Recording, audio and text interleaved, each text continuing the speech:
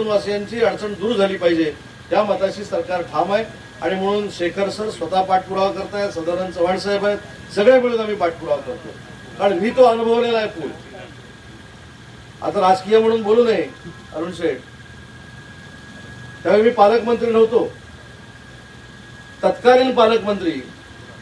त्यांना मुंबईला जायचं होतं. म्हणून मार्ग बागून बदलून मुंबईला गेले आपण सगळ्यांनी बघितलेलं आहे. पण मी पालकमंत्री नसताना देखील हटलो नाही. तुमच्यासोबत राहिलो. शेवटपर्यंत तुमच्यासोबत राहिलो. मला असं वाटतं की राज्यकर्त्यांमधला फरक देखील आपण समजून घेतला पाहिजे.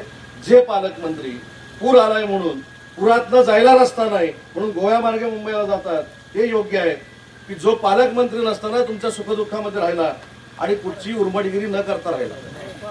आता ते बरोबर आहे की नाही? तुमच्यातला म्हणून राहिला. त्याच्यामुळे थोडं राज्यकर्त्यांमधला देखील फरक करायला चिपळूणकरांनी शिकलं पाहिजे. ही हात जोडून मला आपल्याला विनंती करायची आहे. कारण मी त्याचा म्हणजे साक्षीदार आहे. कारण शेखर सरांनी आम्ही एका हा? ते तुम्ही सांगा. कुठे आणून दिले काय दिले? शेखर सरांकडे एक मिटिंग झाली सायंकाळी सात वाजता. त्या पुराच्या बाबतीतली एक घटना. आजपर्यंत तुम्हाला कदाचित माहीत नसेल. हा गौप्यस्फोट म्हणा किंवा तत्कालीन राज्यकर्त्यांचा अपयश समजा. आमची एक बैठक झाली साडेसहा वाजता.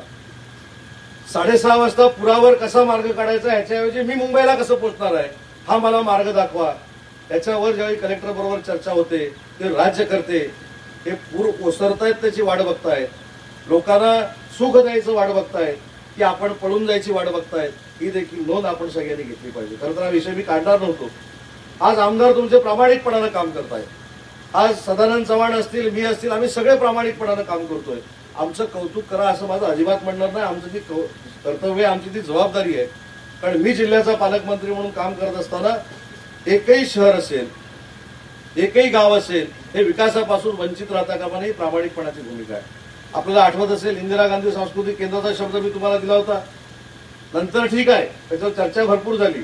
मी बारा वर्षापूर्वी काय केलं पंधरा वर्षापूर्वी काय केलं वीस वर्षापूर्वी काय केलं तेव्हा पंच्याहत्तर वर्षापूर्वी काय केलं. पण ज्यावेळी हे याचं लोकार्पण होईल त्या दिवशी आपण केलं. तुमच्या स्टेडियमचा विषय अग्रणी आला त्याला देखील पैसे दिले स्टेडियमचं काम सुरू आहे. छत्रपती शिवाजी महाराजांचा एक चांगली शिवसृष्टी या ठिकाणी उभी राहावी. आमच्या नगरपालिकेनं काहीतरी थातूर मातूर केलं होतं. मी जे जे स्कूल ऑफ आर्ट्सचे सगळे लोक पाठवले. आज ती देखील जवळजवळ दोन ते अडीच कोटी रुपये खर्च करून अतिशय भुजनावं अशी शिवसृष्टी आपल्या चिपळूण शहरामध्ये निर्माण होते. परवा देखील चार ते पाच कोटी रुपये पुन्हा एकदा शहराला द्यायचा निर्णय घेतला. हे कशासाठी घेतलंय? तर फक्त रत्नागिरी शहर सुंदर व्हावं. रत्नागिरी शहर स्वच्छ व्हावं अशी माझी भावना नाही.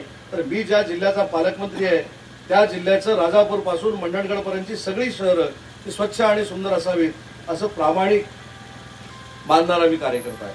आणि म्हणून चर्चा होत असते. मगाशी शेखर सरांनी सांगितली ती गोष्ट खरी आहे कारण तुमच्या भावना आहेत तीव्र आहेत.